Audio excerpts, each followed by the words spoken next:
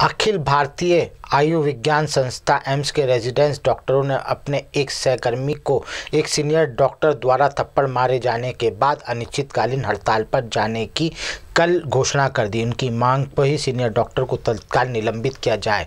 वह ये भी मांग कर रहे हैं कि डॉक्टर लिखित रूप से माफ़ी मांगे। ये सीनियर डॉक्टर इस संस्था में एक विभाग के विभाग अध्यक्ष रेजिडेंट डॉक्टर एसोसिएशन ने एम्स के निदेशक रणदीप गुलेरिया को एक पत्र लिखकर आरोप लगाया कि सीनियर डॉक्टर ने सीनियर रेजिडेंट को नर्सिंग स्टाफ सहकर्मी और अन्य लोगों के सामने थप्पड़ मारा।